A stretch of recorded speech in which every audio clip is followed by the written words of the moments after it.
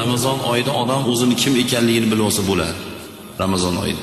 Nimaga desa chunki ho'p boshqa oyda shayton vasvas qildi shaytondan ko'ra iymoni zaiflik qilib kurasholmadi endi ho'p shaytonni xudo olib qo'ydi. Lekin qolgan o'n bir oyda nima ish qilib yurgan bo'lsa shuni qilib yuribdi. Biling eng yomon odam o'sha odam.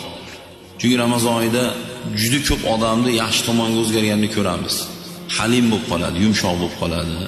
Urushmaydigan bo'lib qoladi ichmaydigan bo'lib qoladi masjidga boradigan bo'lib qoladi. Uni kulmang uni gapirmang uni qo'l bilan ko'rsatmang. Iloji quchoqlab peshonasidan o'ping. Kirdimi? Haligi zato qildimmi deydiyu zato kirdimi shu? Kiryaptimi? Ro'zani tutyaptimi? Peshonasidan o'ping. Bizda shunaqangi odatlar borda. Bitta yaxshi gapni gapirsa o domla bo'lib qolibsizmi?